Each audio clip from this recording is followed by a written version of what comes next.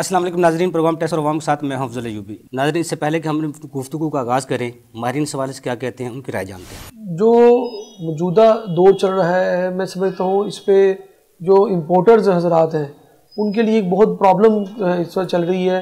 वो ये है कि जब वो इम्पोर्ट करते हैं, उस पर वैल्यूडिशन टैक्स भी देते हैं, उसके अलावा सेल टैक्स में उनको एड बी जो सेक्शन है, वो भी टैक्स अदा टेन परसेंट टैक्स अदा करना पड़ता है। इस तरह जो इम्पोर्ट पे वो जो इम्पोर्ट करेंगे, उस पर अपनी वो इम्पोर्ट पे जो आपकी रिटेल प्राइस है, वो मेंशन करना।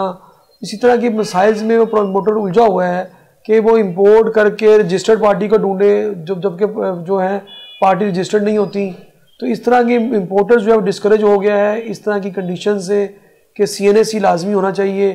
तो ये समझता हूँ जो इस तरह की जो शराइ होती हैं, जो इन्फोर्स की गई हैं, उसके लिए ग्रेजुअली करना चाहिए इनको। एकदम से जो चीज़ें सारी ऐड होती हैं इससे होता ही है कि इम्पोर्टर जो हमारा एक बड़ा अहम रुकन जो बड़ा टैक्स अदा करता है एड सोर्स रिडक्शन होती है उनको बड़े मसाइल दरपेश हो रहे हैं। और जो इम्पोर्ट अशिया आ, रही हैं कुछ पे तो इन्होंने आइटमों में बैन कर दिया है उनकी इम्पोर्ट बंद कर दी गई है। और जो लोकल जो समाकार हैं उनकी जो है वो ब्लैक मिलिंग चल रही है उनकी जो वो प्राइजेस को स्पेकुलेशन करते हैं और प्राइजेस को हिट कर देते हैं। आप देख लें चीनी का बहरान है आटे का बहरान है वजह ये है कि हमारी जो लोकल इंडस्ट्री है, वो इस कदर जो है वो जीरा जहीरा दोजी करके अपनी प्राइजेस को अप करती हैं कि जो इम्पोर्टर्स हैं, या दूसरे जो इंडस्ट्रीज़ हैं, वो ख़त्म से ख़त्म हो जाए। एक्सपोर्ट भी हमारी वो भी ना होने के बराबर हो गई है।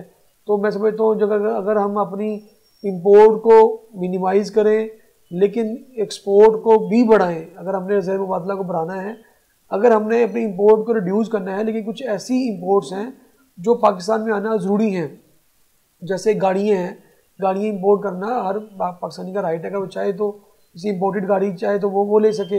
अब लोकल इंडस्ट्रियों ने अपनी प्राइसेस गाड़ियों की अप कर, कर दी हैं।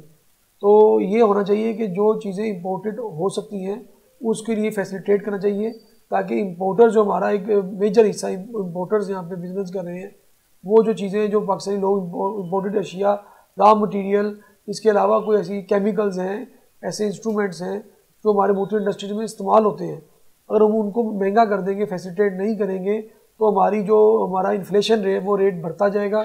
इम्पोर्टर डिस्करेज होगा इम्पोर्ट्स कम होंगी तो वो अशिया नायाब हो जाएँगी, उनकी प्राइसेस अप हो जाएँगी, जिसकी वजह से जो है हमारा इन्फ्लेशन मज़ीद बढ़ता जाएगा। इम्पोर्टर्स को समझता हूँ फैसिलिटेट करना चाहिए। हमारा वो बिज़नेस कम्युनिटी का हिस्सा है।